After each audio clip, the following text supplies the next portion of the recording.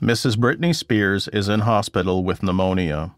The physician has prescribed intravenous antibiotics and a 1000 milliliter NaCl 0.9% infusion at a flow rate of 80 milliliters an hour.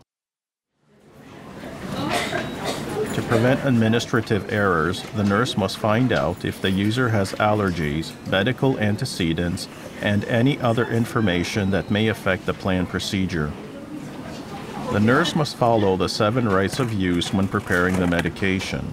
She needs to make sure she has the right product, the right time, the right dosage, the right user, the right administration route, the right recording, and the right supervision.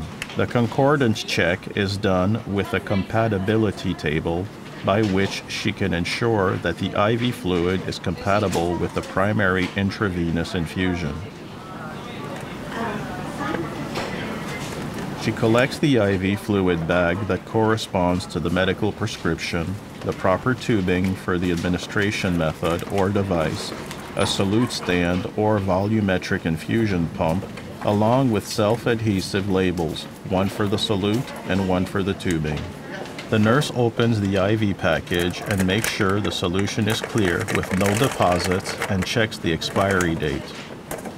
If the fluid quantity is below the expected value, the bag may have a leak and must be disposed of and replaced. The same applies if the fluid contains deposits, is cloudy, or expired, as the properties of the solution may be altered.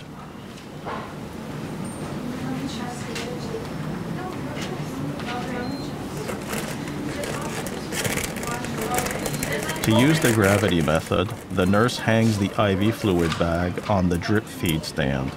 Preserving sterility is an important step in order to prevent potential contamination when preparing an infusion. The nurse opens the tubing package, being careful to keep both ends sterile. If in doubt, the nurse should open a new tubing package. The nurse also makes sure the flow rate regulator is turned off before piercing the IV bag.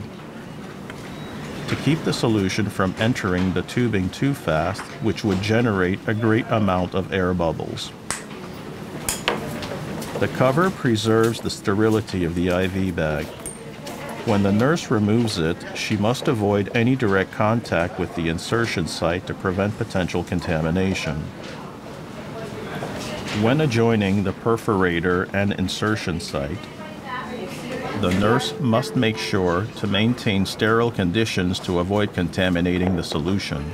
The nurse compresses the drip chamber and releases it in order to fill it to the fill line, about two thirds of the way. Releasing the pressure creates a suction effect, allowing the drip chamber to fill with fluid. The drip chamber should not be completely filled, therefore, an eye must be kept on the drip opening which will later be used to regulate the infusion flow rate. If the chamber is too full, the nurse must pinch the tube under the chamber, turn the IV bag over, and compress the drip chamber. Once the chamber has been emptied, the nurse returns the IV bag to its initial position on the drip feed stand. The sterility of the end cap must be preserved at all times since it will be put back in place once the tubing has been primed. The nurse slowly opens the slide clamp. A slow flow rate prevents turbulence and air bubbles from being generated during the procedure. Air bubbles in the tubing could end up being injected into the user, which could cause an embolism. The nurse must make sure the tubing Y connectors are completely free of air bubbles. If the Y connectors still contain air bubbles, there is a risk of injecting air into the user's veins during the infusion. She places the protective end cap on the tubing or a sterile needle if the end cap has been contaminated. The nurse checks for air bubbles in the tubing to make sure there is no air remaining in it. The nurse fills in two self-adhesive identification labels with the installation time and date which helps in planning the infusion and tubing replacement schedule.